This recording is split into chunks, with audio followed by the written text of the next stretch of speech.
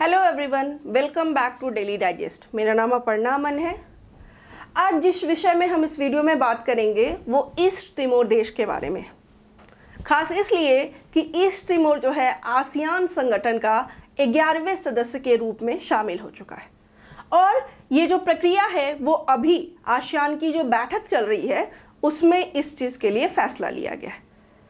ये east Timor जो देश है, ये ऐसा नहीं है कि पहली बार इसने आशियान से से जुड़ा है ये, या आशियान के सदस्य के रूप में काम किया इसने। इससे पहले भी हमेशा से आशियान में एक सक्रिय सदस्य के रूप में जो है, ईस्ट तिमोर ने भाग लिया है।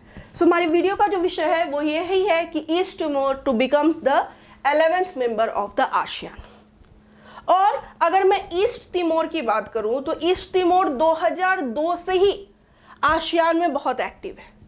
उस समय इसको इंडिपेंडेंस स्टेटस दिया गया था और ऑब्जर्वर का स्टेटस आशियान में मिला इसको। उसके बाद 2005 में इसने ASEAN Regional Forum A R F को ज्वाइन किया। फिर 2007 में क्या हुआ कि इसने treaty of amity and cooperation T को अपने संधि में ऐड कर लिया। फिर 2011 में ऑफिशियली इसने आशियान के मेंबरशिप के लिए अप्लाई किया। ठीक है? नेक्स्ट क्या हुआ 2013 में? आशियान के सभी मेंबर्स ने इसको बैक सपोर्ट किया कि हाँ आशियान जो, इस तिमोर जो है आशियान का सदस्य हो सकता है। ठीक है? 2017 में accession continues to be installed पर वो प्रक्रिया जो है फाइनल नहीं हुई। और फाइनली इस वर्ष 2002 में आशियान की बैठक में ईस्ट तिमोर को जो है आशियान के ग्यारहवें सदस्य के रूप में मान लिया गया है। और भी क्या क्या हुआ है? आइए देखते हैं।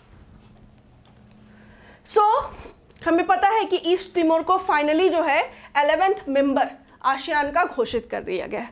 अगर मैं आशियान की बात करूँ तो ये एक शॉर्ट फॉर्म है। किस चीज़ का? ये Association of South East Asia Nations ये एक ऑर्गेनाइजेशन है जिसको शॉर्ट फॉर्म में हम आशियान बोलते हैं, ठीक है? और ये एक रीजनल ब्लॉक है जिसको 8 अगस्त उन्नीस 1967 को जो है फाउंड किया गया था। कहाँ? बैंकॉक थाईलैंड में। अभी जो इसके करेंटली मेंबर स्टेट्स हैं, उसमें Brunei Cambodia Indonesia Laos Malaysia, Myanmar, Philippines, Singapore, Thailand और वियतनाम नेशन है। ठीक है? ईस्ट तिमोर को जो है, इसमें एक नए मेंबर के रूप में शामिल किया गया है इसी वर्ष। अब अगर मैं ईस्ट तिमोर और आशियान के संबंधों की बात करूँ तो मैंने जैसा कि बताया कि 2011 में ही जो है आशियान के मेंबरशिप के लिए ईस्ट तिमोर ने अप्लाई किया था। पर जो डिसीज़न है to make East Timor as eleventh member of ASEAN ये लिया गया किसमें? अभी जो 40 और इकतालीसवीं आशियान की बैठक चल रही है, कहाँ? कंबोडिया के कैपिटल फेनोम में यहाँ इस चीज़ के लिए फैसला लिया गया है। ठीक है? इससे पहले क्या था कि ईस्ट तिमोर को ऑब्जर्वर का स्टेटस ग्रांट किया गया था और इस स्टेटस के कारण क्या होता था कि ये इसके मीटिंग्स में भाग ले सकता था समिट्स में भाग ले सकता था और फॉर्मली इस रीजनल ब्लॉक के जितने भी कार्यक्रम होते थे, इन सभी में ये शिरकत करता था। ठीक है? अब अगर मैं ईस्ट तिमोर की बात करूँ, ये देश क्या है, कहाँ इसका जोग्राफिकल लोकेशन है सो ईस्ट तिमोर या तिमोर लेसते ये जो है एक हाफ़ आइलैंड नेशन है। किसका?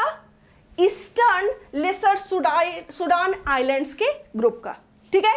ये सिचुएटेड कहाँ है? तो it is situated at the southern extreme of the Malaya archipelago and it occupies the eastern half of the island of Timor island of Timor जो है, इसके बिल्कुल पूर्वोत्तर में जो है, ये सिचुएटेड है।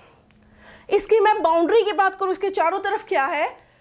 तो तिमोर सागर है साउथ ईस्ट में इसके, ठीक है? वेटर स्ट्रेट है इसके, नॉर्थ में, उत्तर में, ओम्बाई स्ट्रेट है इसके, नॉर्थ वेस्ट में, एंड वेस्टर्न टिमोर कहाँ है? इसके, साउथ वेस्ट में। ठीक है? इससे पहले ईस्ट तिमोर जो है, इंडोनेशियन टेरिटरी का एक हिस्सा हुआ करता था। बाद में इसको अलग से ईस्ट तिमोर के रूप में इस्टेब्लिश किया गया। आप इस नक्शे पर देख लीजिए, ये आपका ईस्ट तिमोर है। ठीक है? इससे पहले आप देख सकते हैं कि इंडोनेशिया टेरिटरी है इसी का हिस्सा हुआ करता था। अब ये यहाँ बिल्कुल ईस्टर्न पार्ट में सिचुएटेड है ओके सो so, इस वीडियो में इतना ही है। Thank you